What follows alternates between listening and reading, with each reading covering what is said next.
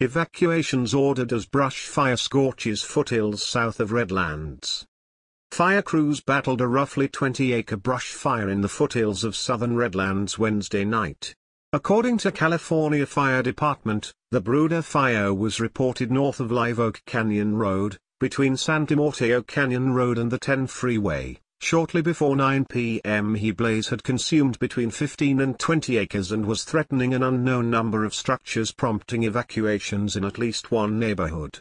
Winds moving between 3 and 5 miles per hour were driving the fire west, Milloy said.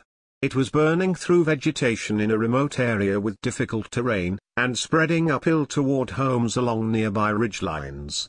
Redlands City spokesman Carl Baker said as many as 50 residences were threatened. Residents on Live Oak Canyon Road, as well those living on Sunset Drive and Puesta del Sol, were ordered to evacuate, he said.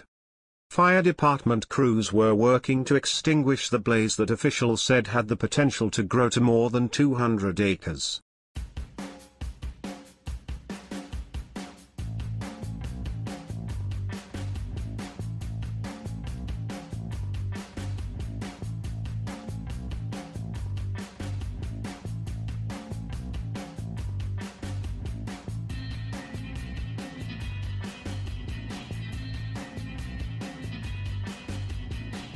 For up-to-date news, please subscribe to the Inside Story.